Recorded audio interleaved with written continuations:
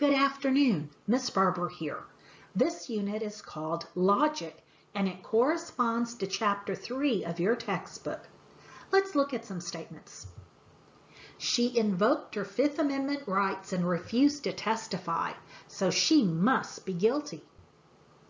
Senator Fox's bill on the new vaccination policy is a sham because he has accepted contributions from the financial backers that produce the vaccine. The libraries are always overcrowded during final exam week. We need to change the final exam week so that the library will not be so overcrowded when students need a quiet place to study. Each of the above three statements contains some logical error. In this module, we will study logic as a science of how to evaluate arguments and reasoning. In so doing, we will further develop your critical thinking and higher reasoning skills. The overriding goal of this study is to be able to appropriately employ logic to separate valid and invalid statements. Let's begin with the first section titled Statements, Negations, and Quantified Statements We'll start with statements and logic symbols and some definitions. The first one, a statement is an English sentence or fragment which is true or false but cannot be both simultaneously. Two, the negation of a statement is the logical opposite of that statement. The negation will have the opposite truth value of the corresponding statement. If we let P represent a statement, then the notation tilde P represents the negation of P. That notation is read not P. And quantifier. Quantifier are words such as all, none, or no, or some that express an amount. Which of the following are statements? Explain. Part A, the sky is blue. This is a statement. It is an English sentence with a truth value. B. New York City is in the state of Vermont. This is also a statement. It is an English sentence with a truth value, albeit with a truth value of false. C. Let's go to the zoo. This is not a statement. It is a request and has no truth value. And D. Star Trek IV is the best movie ever. This is not a statement. It is an opinion and has no truth value. Here's a bonus question. Is the following a statement? Explain. This statement is not a statement. I'll leave it to you to think about it for a while. Consider the statement.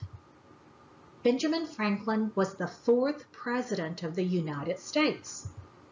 Determine which of the following statements are negations and explain. A. Benjamin Franklin was never president. It's not a negation. Him not being the fourth president does not then mean he was never president, even though we know that is not the case. B.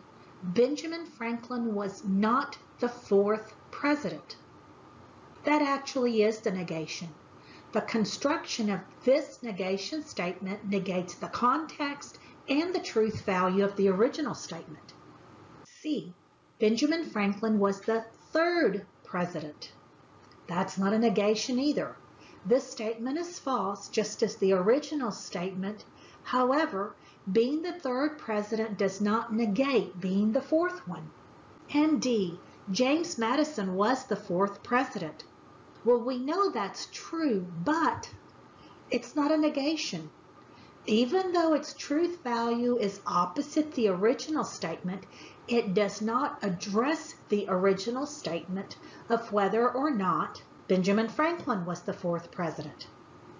Construct a negation of each of the statements, both in English language and symbolically.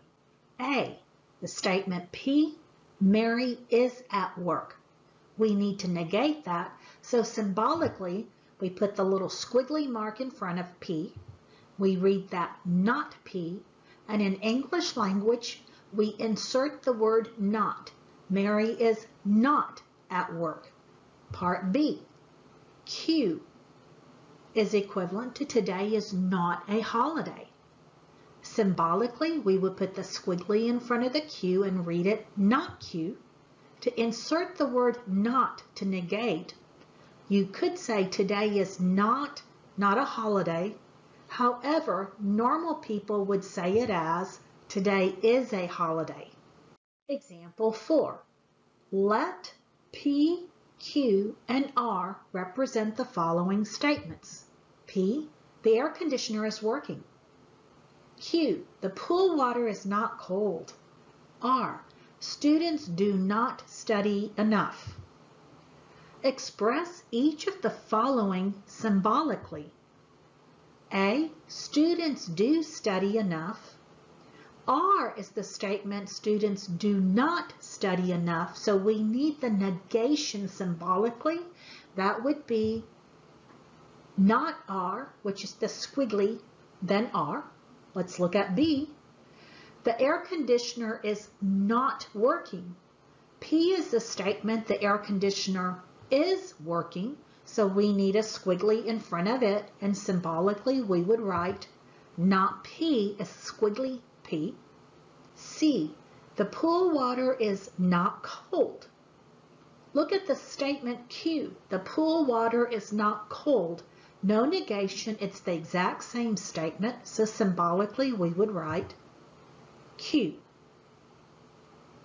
Quantified statements. A quantified statement contains terms such as all, some, or none, which describe amounts. These words are called quantifiers. Provided for you is a table of common quantified statements and their equivalent counterparts. For the table, we let A and B represent statements. You write the equivalent form for each example. Let's start with the quantified statement, all A are B. An example, all dancers are lovers. An equivalent statement, there are no A that are not B. Changing that example, we could say there are no dancers that are not lovers. Second quantified statement, some A are B. An example, some mathematicians are cool. An equivalent form, there exists at least one A that is a B. So equivalently, there exists at least one mathematician that is cool. Quantified statement, no A are B. An example, no action movies are Oscar worthy. An equivalent form, all A are not B. We can equivalently say action movies are not Oscar worthy. And finally, let's look at some A are not B. An example, some cats are not mean. An equivalent statement, not all A are B. So we can say not all cats are mean. It's a little bit tricky to negate quantified statements. The negation of all includes the word some, and the negation of some is none. So let's start with all A are B. Its negation, some A are not B. Let's look at some A are B. Its negation, no A are B. Example, Construct a negation of each of the following. Both A and B represent statements. A, all A are B. The negation would be some A are not B. Statement B, some A are B. The negation would be no A are B. Statement C, no A are B. So the negation would be some A are B. And finally, D, some A are not B. That negation would be all A are B. Example, for each of the following quantified statements, A, construct an equivalent quantified statement, and B, construct a negation of that statement. Quantified statements should begin with all, some, or none. Statement P, all of you are invited to the party, or equivalently, each of you are invited to the party. It's negation. Some of you are not invited to the party. Statement Q. Some of you will get your dream job. Equivalently, some of you will not get your dream job. Think about that for a moment. And the negation would be, none of you will get your dream job. No dogs go to heaven. Equivalently, dogs do not go to heaven. And the negation of that statement is, some dogs do go to heaven.